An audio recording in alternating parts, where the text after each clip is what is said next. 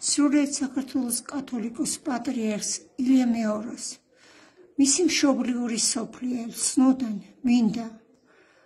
დიდი სიყვარულით პატივისცემით მოკრძალებით მიულოცვალ ფარველი ანგელოზის ხსენების დღე. თქვენო უწმინდესობაო და უნეტარისობას მიუხედავად სიშორისა ყოველთვის გრძნობთ თქვენს მზრუნველობას თქვენს სიყვარულს.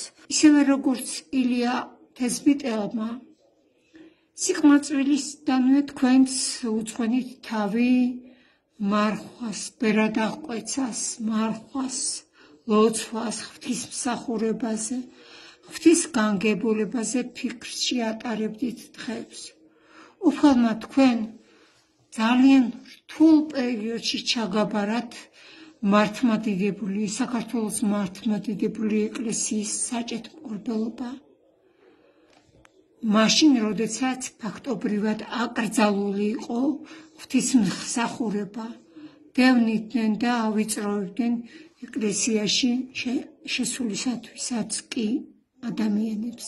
დიდი სიყვარულით პატივისცემით მინდა მოგილოცოთ ანგელოზის დღე სნოსკოლის პედაგოგების მოსწავლეების მათი მშობლების სახლით თქვენი ზრუნვა და სიყვარული არ მოაკლდეს ჩვენს სამშობლოს ჩვენს პატარა სოფელს. მე ვარ გიფშენიშვილი სნოს წმინდა გიორგის სახელობის ტაძრის ტიჩაროსა მედავითი მე ვსწავლობ სნოს საჯარო სკოლაში სადაც უწმინდესი სწავლობდა და მე ვცხოვრობ იმ სოფელში, სადაც უწმინდესი გაიზარდა. მე ძალიან მეამაყება, რომ სწავლობდა ცხოვრობ იმ სოფელში და სკოლაში, სადაც უწმინდესი აღიზარდა.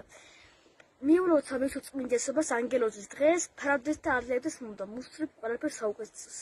და დიდხანს ძეწლის. მე ვარ ანა ქოქიშვილი, პატრიარქის ნათლული. აჩხოტის წმინდა ნიკოლოზის სახელობის ტაძრის მრევლი. პატრიარქს უოცავ თავის თავისი ანგელოზის ხსენების დღეს უსურვებ დიდხანს სიცოცხლეს და ჯანმრთელობას.